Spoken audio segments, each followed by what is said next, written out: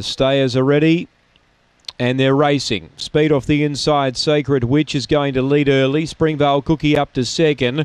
And they're about two clear then of Springvale Carla around the outside, making ground Aston Harvey. Oh, something amiss with the fave. Springvale Carla's dropped out about 18 lengths away last of all.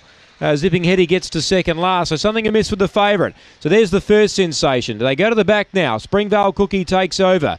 Gets away to lead by two to Sacred Witch. The danger might be Aston Harvey. It's back in third, but the leader's doing it well. Fourth, Zipping Hetty.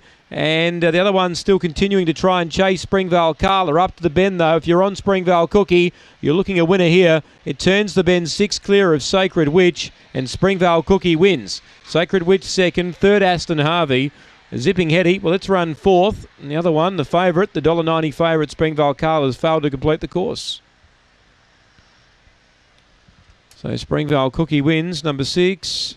Once the favourite um, got into bother and uh, pulled up, Springvale Cookie, the kennel mate, was able to run on by.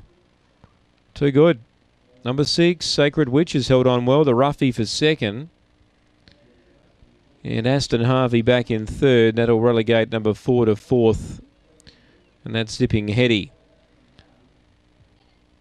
So eight, uh, I should say six one eight four here, six one eight four. So Springvale Carla, not sure what happened there, but she was gone a lap out. She dropped right out, and the other four left uh, to fight the race out. Six one eight four, 40, uh, 43 22 that time. Four twenty five early, thirteen thirty eight the run home.